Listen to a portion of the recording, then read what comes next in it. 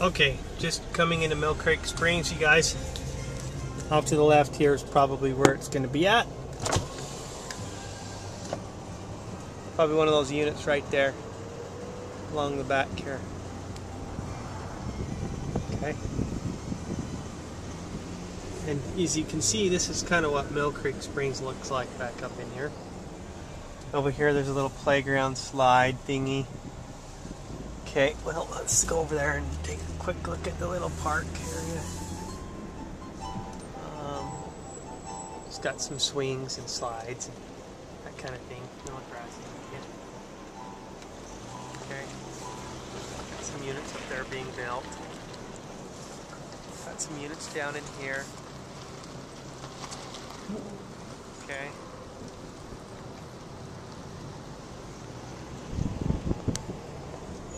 Then of course your unit's going to be right in there.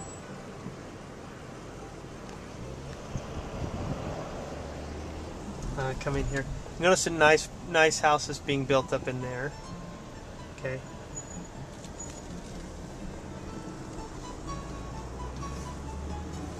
Millcreek Springs.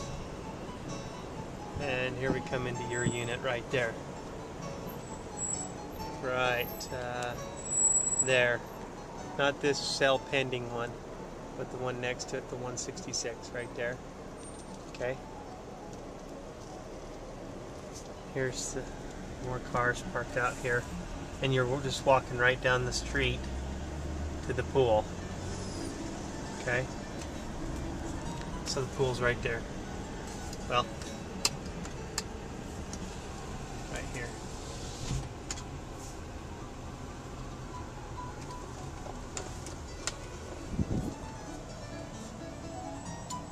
Says five feet on the right there. Four feet. Right there. And I can't see what that says.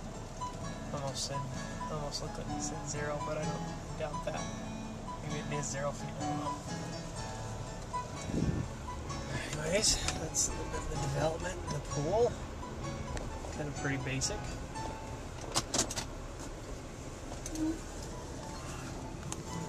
Okay. Get a little bit better view of it. It's all fenced off.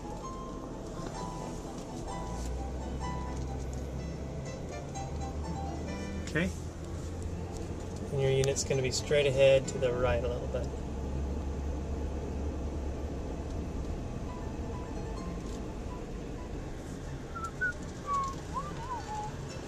One car garage.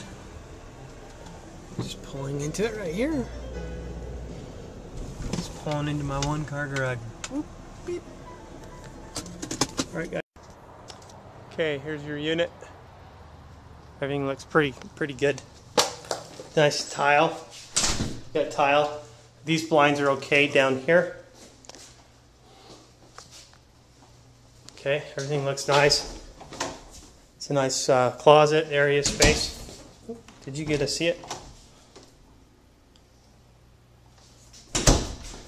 Here's uh, some storage underneath the uh, stairs, which is really good to have. Okay. Half bathroom down here with the main living area. And this is the carpet remnant I would think that you could just replace, okay? That's what I would do. And your, your ceiling fan needs to be cleaned off. Looks like it's dust on it.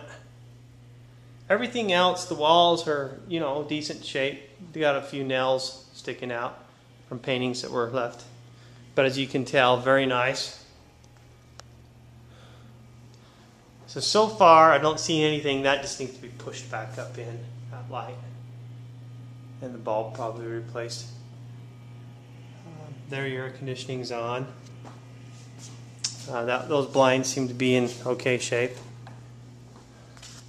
These are probably in okay shape. Let's see.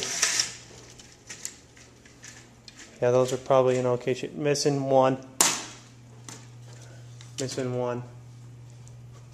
Who knows, maybe you could take it off this one. Anyways, but I wanted to show you one blemish that I don't know what in the heck is from. But I've concluded that it has nothing to do with the functioning or reliability of the door. And that is somebody got back there and picked away at the, uh, the foam that sticks to the, the bar and the window. And someone got in there and pried, but they didn't evidently pry hard enough to break glass. That's what I tried tried to figure out what in the heck was somebody trying to do. Because why would you try to do it from the inside where all you have to do is just lift up the lock to unlock the puppy and it slides nice. Everything's functional about it. I think that you could disregard because you really can't see that anything's just that's wrong with it. Okay.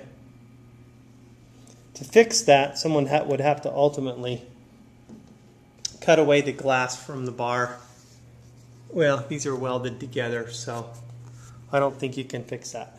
That's just it would be forever left there as part of your rental. And then when you did go to fix it, they would undo the bar, the plastic, take all the plastic off. They would bend that back, and you'd put a new strip on there, or you would get a whole new door. Okay. Anyways, that's kind of minor. I, wouldn't. I would think that you wouldn't even have to worry about that. Someone could just, you know, put some caulk in there or something. Okay. All right, that opens nice and easy. Screen door is very functional. And here's the outside and the back, you guys. Not much to your backyard space, all right? Just looking off, basically. Have a little patio area. Okay. Okay, but it's got uh, underneath lighting underneath the cabinets, which is kind of cool. Um, good lighting here. And then, of course, it has a garage, which most of these have just carports. So there's built-in value right here. Now I'll be showing you upstairs. Okay, here we go with the upstairs. Shampooing would take care of anything um, upstairs, I believe. Now this is just bedroom, and that bedroom railing looks kind of like a new unit. Yeah, the grill could use some dusting, that's for sure. Um, but in the master bedroom, the window looks like looks like a nice clean unit. Down there, I don't know if they, you just have to match the paint. You know, just get a fleck of paint off there, and you'd need to do there. Okay, it's Brian bringing you the house. I don't see anything wrong with it. Looks uh, in good shape.